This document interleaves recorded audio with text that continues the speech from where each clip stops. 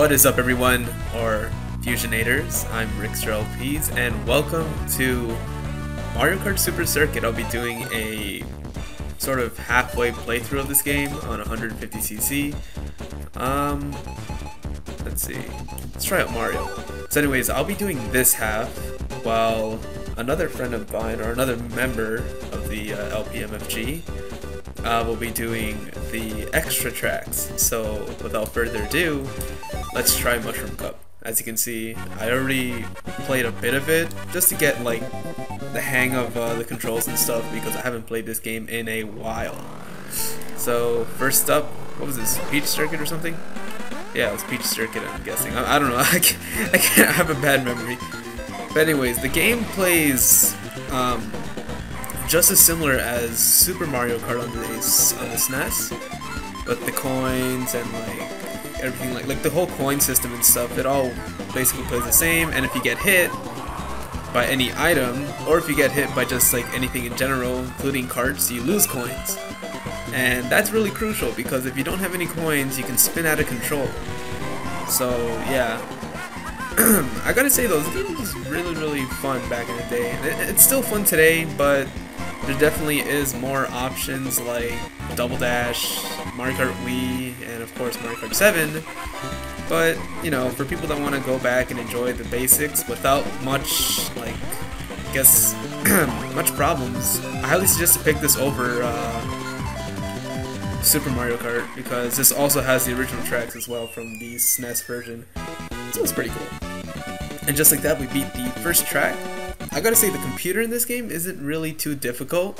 I think the only parts the game actually gets difficult is when you play on the tracks where like there are a lot of tight corners. Like I'll show you. I think Bowser's Castle is a perfect example of, uh, of a track that has a lot of tight corners. So that is one thing to look out for.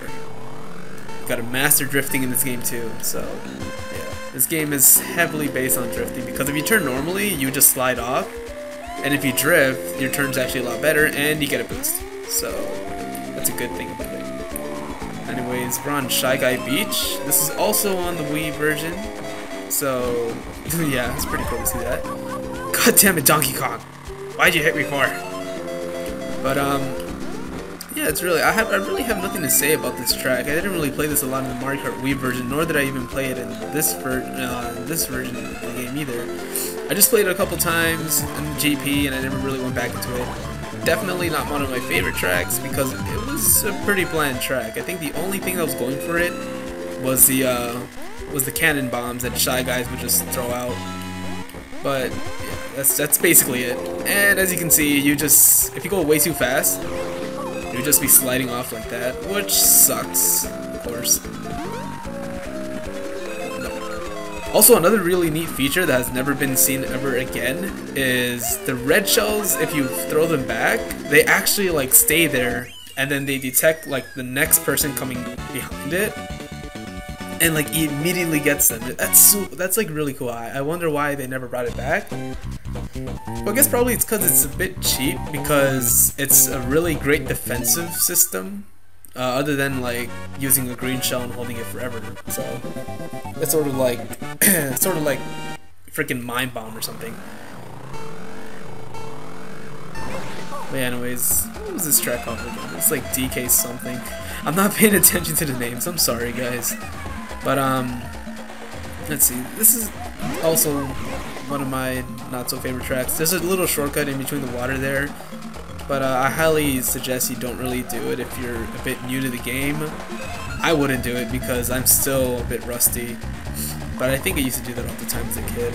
Just cut through there. I remember I did it a lot with Toad because Toad was really good at handling, especially drifting too. Yeah. this track is also really good for drifting. it's like probably a perfect example of drifting, and I just fell in the water. Alright, there we are. So if you want to practice your drifting, I highly suggest playing this track because it has a lot of tight turns and also like turns where you can basically practice your drifting and how much drifting you need. And, oh jeez. Don't want to hit that. It's one thing I don't want to hit. Alright, sweet. Also, once you hit them, if anybody else touches the cart while they're spinning around, uh, they actually get hit again. So like it sort of resets, resets or something. I don't think that was in Super Mario Kart at all. I remember they spin, but if you hit them, you lose a coin and they just stop spinning and stuff. But in this game, you don't lose any coins, they just continue spinning again. It's pretty cheap, because if you're playing multiplayer in this, like local, you can just get your friends to team, team up on one person, which is really bad, and that sort of happened to me once. We were playing, uh, I think we were playing on Rainbow Road, and what happened is that my friend had a red shell, and they all teamed up on me, like they all kept spinning around in circles, coming backwards and I was just in a loop of non-stop spinning until I fell off the track, of course. But yep, it sucked. Anyways, now we're on a, now we're on Bowser's Castle, which um, I should probably show you perfect example of why uh, drifting, like trying to learn this game in general, is really hard because of the tight turns and those goddamn Thwomps. So yeah, these Bowser's Castle are probably one of the more harder tracks in this game, just because of these freaking walls and stuff, and how tight they are. So yeah, I also feel like you you sort of slide more when you play on this track. Oh man, that would have been perfect, but whatever. I'm obviously not a pro at this, but uh, I think I'm probably a decent one at this game. But there's, I think probably there's someone better than me. Like, in the whole collab. I don't really play this game too often. I could have made a perfect. No! Bowser's gonna win. Oh, whatever. Wait. Wait.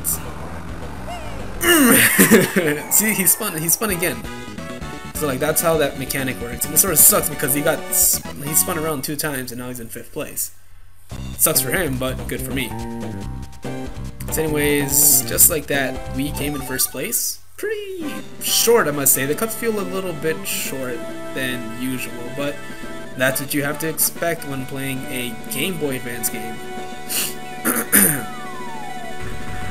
anyways, here it is. I got my first cup in that weird looking Cheep Cheep thing and there's only one hammer bro there. Where's your brother dude? And I got an A rank, that's sweet. So anyways guys, thank you all for watching this part. Hopefully you guys enjoyed it. And look forward to the next part where we take up the flower cup. So yeah, later everyone.